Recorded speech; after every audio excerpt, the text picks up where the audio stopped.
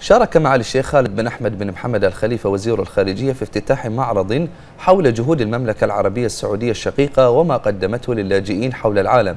والذي أقيم بمقر الأمم المتحدة في نيويورك ونظمه مركز الملك سلمان للإغاثة والأعمال الإنسانية والبرنامج السعودي لتنمية وإعمار اليمن.